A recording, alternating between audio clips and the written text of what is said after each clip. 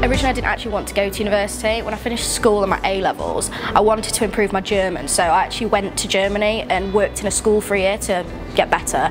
And while I was there, I realised that even though I could speak really well, my grammar was terrible. So I thought I'd just go to university and get a proper qualification in it. And while I was there, I might be able to pick up another language. So actually when I came here, when I realised I could actually do Spanish as well, that was great. So I picked that up from scratch. So now I've got two languages instead of just one.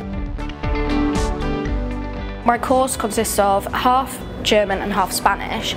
Um, 30 mod credits of that are um, language credits, so that includes speaking, um, translation, essay writing, all those kind of things. Um, and then the other half is um, cultural modules, so we learn about the history, films, all different types of things to be able to get a wider idea about the country of the languages you're learning. So we all have a personal tutor, um, so you can go and see them whenever. We have meetings with them every so often, but I just turn up when I want and they'll help me.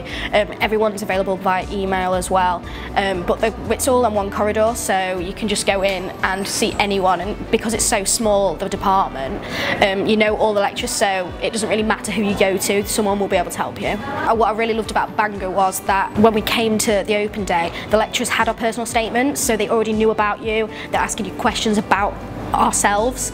Um, whereas I've been to other ones they had no idea who you were and they were just you were just a number. Whereas here it was really personal and that was one of the reasons why I chose Bangor.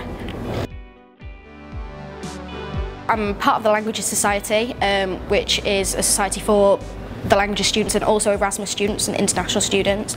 And we do um, events every week a tandem which um, is where you can go and practice your languages with people that speak those languages as well, or as well as uh, other English speakers. Um, and I'm also part of the cricket women's cricket team. Uh, I was captain two years ago before my year abroad, and I've been doing that for four years and really enjoy it as well. Because I do two languages, I had to do two semesters abroad, one in each country.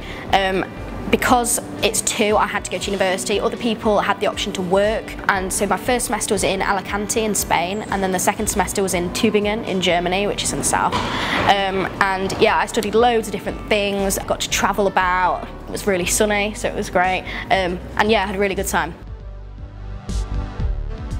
Ich soll unbedingt nach Bangor kommen, um Sprachen zu lernen. Ähm, die Kurse sind so interessant ähm, und die Professoren auch. Ähm, sie wollen, dass ihr ähm, die Sprachen lernt ähm, und man kann wirklich gute Freunde hier bekommen.